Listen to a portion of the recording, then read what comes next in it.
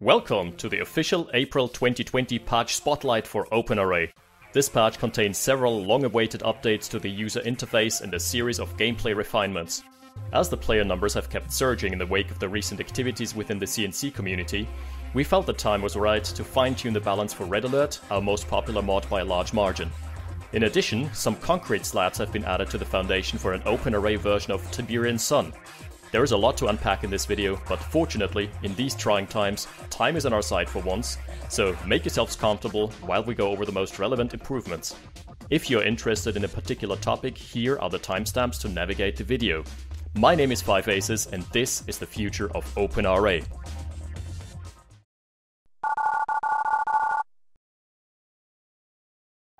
If you are new to this project, let us set the stage before establishing Battlefield Control. OpenRA is a community-developed real-time strategy engine that upholds the legacy of legendary developer Westwood Studios by updating the gameplay of their greatest classic games whilst retaining the timeless graphic style, adding features from later CNC games, while simultaneously giving the balance a complete overhaul to allow for more gameplay diversity and strategies in the process.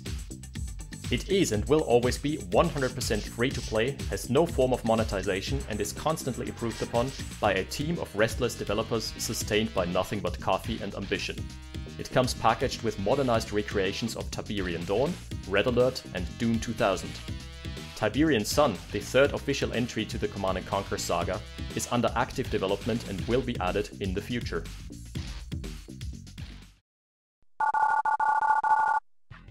OpenRA may feature three distinct games, but at the end of the day, they're all built on the same universal engine.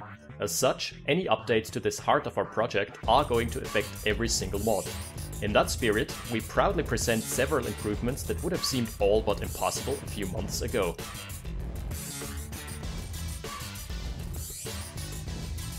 The Westwood originals were never programmed with multiple zoom levels in mind.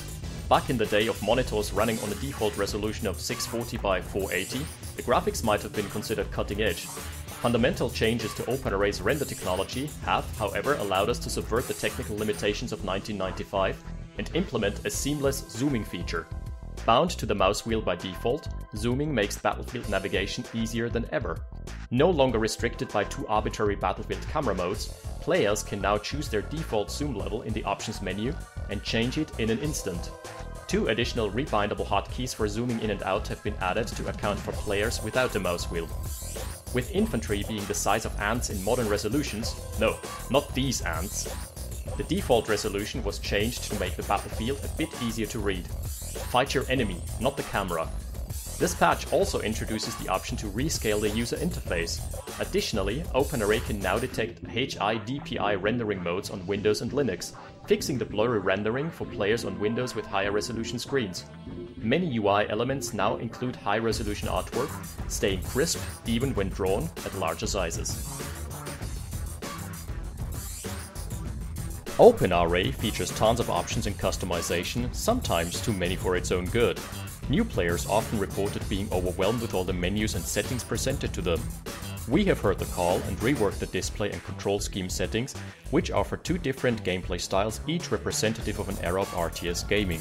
A new introduction screen greets players upon their first time firing up the game, allowing them to set up the most relevant parameters in an instant.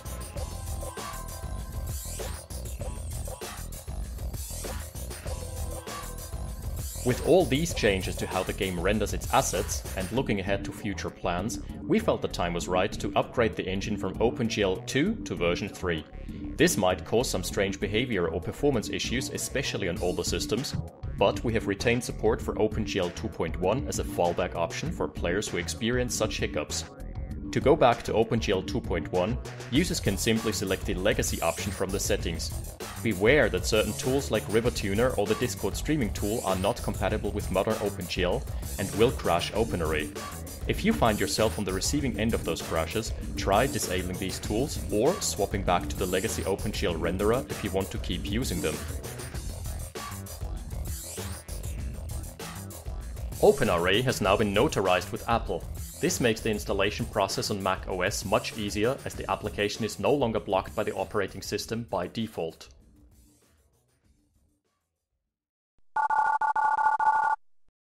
Another series of changes has been aimed at improving the gameplay experience directly without necessarily skewing the balance in one way or another. Let's take a closer look under the hood of OpenRA. The previous patch set a new precedent by introducing the spectator interface.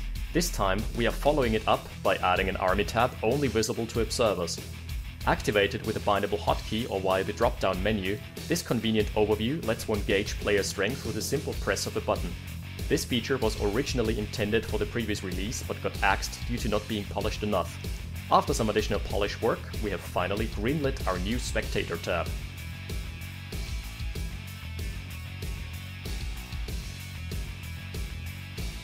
Following up on the reworks to the almighty shift key modifier in the previous patch, we are enabling the queuing of rally points, allowing for intricate gameplay automation. Flanking, sneak attacks, or my personal all-time favorite, the demo truck Surprise, are now easier than ever to pull off. On a side note, default rally points are now invisible. Once a rally point has been explicitly set though, it will show up for good.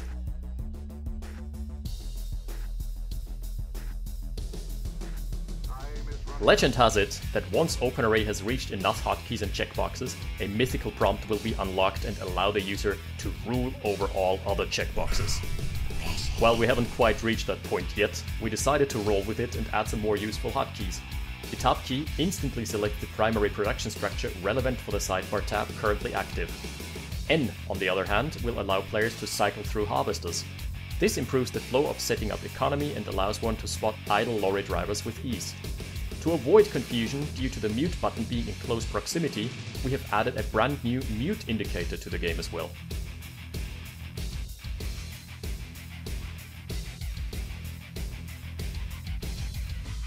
The pathfinding algorithm has been further tuned to help reduce quirks such as the dreaded communist conga line, or units not being able to fire because they're being blocked by their comrades. Empty service depots can now be traversed and no longer serve as roadblocks, this should improve the amount of direct control over one's units and reduce the frustration associated with units ignoring orders or finding ways to execute them with utmost malicious compliance. As an added bonus, this buffs mine layers as their usefulness was constrained by movement logic. When a tile was occupied by an object, such as a mine, only one unit was allowed to enter it at a time. This made the Soviet way of clearing mines surprisingly cheap. In the future, human wave tactics will come at a premium. The same is true for crates. Now up to 5 infantry at a time can get a promotion. Or a detonation. Same thing, really.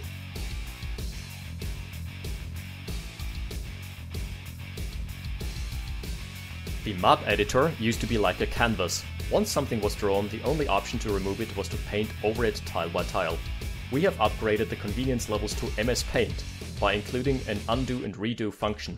The copy and paste features have been improved in functionality and actor properties can now be edited directly from the client rather than from a separate text file. Speaking of actor properties, we have drastically increased the number of traits that can be modified within the map editor. Undoing your terrible map idea has never been this convenient.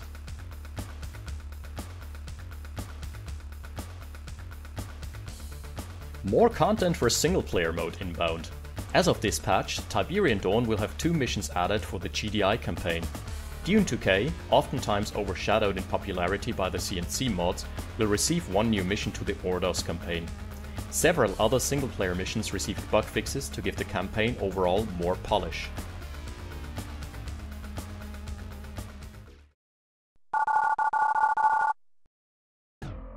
The poster child of OpenRA mods is getting some more improvements in this patch.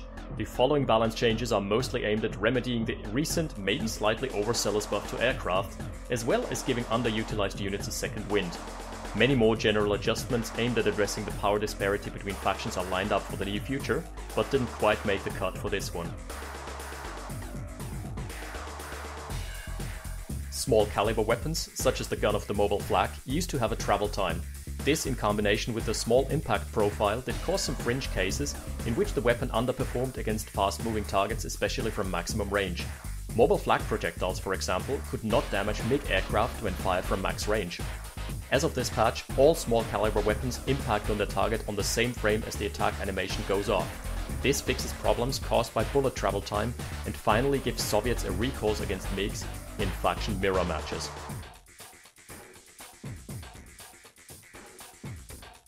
Last patch saw the introduction of Opportunity Fire for all aircraft.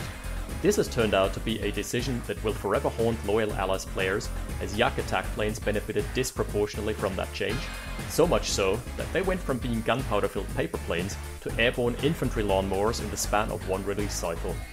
We are hitting the undo button and removing opportunity fire from all aircraft for now.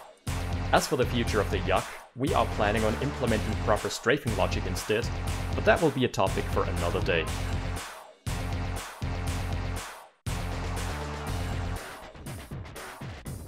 To account for MiGs being easier to hit by mobile flak, we are increasing the health pool by 33%.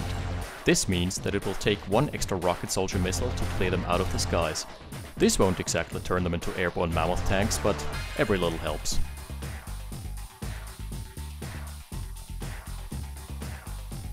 Longbow attack helicopters have historically underperformed against fast-moving aircraft. One of their primary drawbacks was the abysmal missile behavior. We are addressing this by increasing missile speed and turn rate, ensuring that once a missile is fired, it will connect with the target. Another problem we are trying to remedy is the loss of DPS by overkill.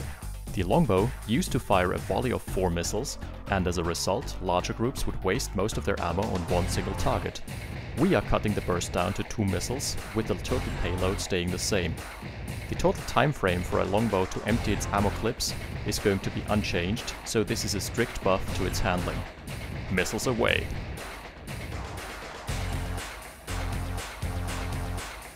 The Chinook has always been a risky proposition. Loading it up with 8 infantry units would often result in losing a lot of net worth when straying too close to an anti-air gun, and the low health pool compared to other transport options such as the sturdy APC meant that this scenario would be more than likely.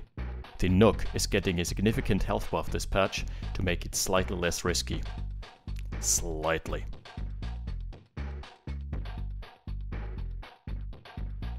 The German Wunderwaffe has had its armaments adjusted to give it a more specialized role as a potent tank hunter. The weapon stats have been buffed against heavy armor, concrete and wood, but received a nerf against unarmored or lightly armored targets. Its health pool got decreased from 45,000 to 40,000 HP, and the speed got decreased to make it just slightly faster than a medium tank. This has several consequences for gameplay. In direct combat, chrono tanks now outperform all basic combat tanks, their mobility with Blink still allows them to relentlessly stalk tanks and hunt them down or get out of dangerous situations in a pinch. Their lowered health pool and movement speed on the other hand allow opposing players to counter them with aircraft or cheap high mobility vehicles such as flak trucks or light tanks. Blinking into enemy infantry will pose a greater risk due to the lowered speed. Overall, we are turning the Chrono tank from a jack of all trades into a fearsome tank hunter, while still leaving its potential to outplay infantry with Blink Micro intact.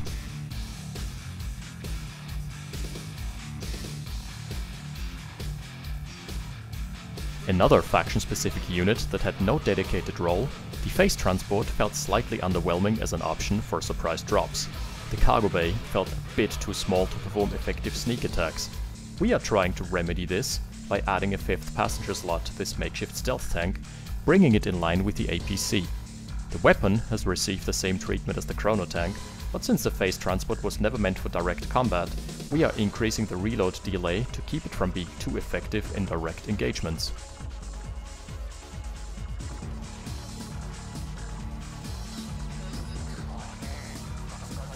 Mine layers have received two quality of life buffs, Firstly, minefield placement can now be ordered over impassable terrain. The vehicle will simply ignore any obstructed tiles. Additionally, they will now be immune to mine damage themselves, preventing spontaneous combustion from enemy units shooting the mine layer and triggering the mine that was just laid in the process.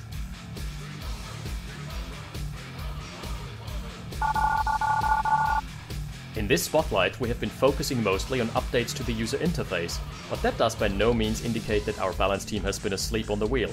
This patch is not only a big milestone towards implementing Tiberian Sun, but it also lays the groundwork for some big changes in the future, be it a rework of naval gameplay or a possible return of the iconic Hind gunship for Soviets. In the future, we might even release a video specifically demonstrating the progress that has been made towards Tiberian Sun. 2020 is going to be an exciting year for OpenRA, and we hope you are as stoked as we are to participate in this journey towards greatness.